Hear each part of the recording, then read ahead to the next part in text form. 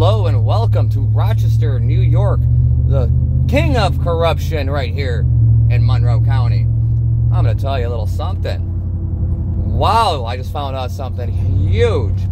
Anybody out there going to family court in Monroe County, Rochester, New York, get your appearance paperwork tomorrow morning. I'm not joking. Tomorrow, get your appearance paperwork, okay? And now, if you have, you look at it, you see you have your you know, your referee in the case. Now above them, it would say you know the other, the judge, you know who's you know above it all because they have a referee do certain things that gets involved in the case, but it's always up to the judge. So you should have a family court judge, and below that, a family court referee. All right. Well, well, well. If you have family court in Rochester, New York, Monroe County, go to the family court clerk's office tomorrow. I'm telling you, go there tomorrow. Get your appearance paperwork and see when you were there. It'll tell you what judges you were in front of and everything. Well, come to find out, it's supposed to, like I said, it's supposed to be a judge, and below that, a referee. They hand, you know, they handle the case, whatever. I, I have two referees. There is no judge overseeing this case. I have two referees. Another reason why nothing's being filed correctly.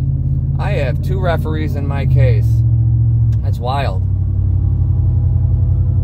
Isn't it? And then besides that, one time, um, my uh, my ex girlfriend's attorney is married to a family court referee that at five o'clock on two occasions was involved in my case. One time he wasn't, um, he didn't do it while she was her attorney, but the second time she did, he did. In May, she took over the case like end of February, March. So why is his name on my appearance? Why was I supposed to be there at 5 o'clock twice and only in front of that guy? That's a little funny, don't you think?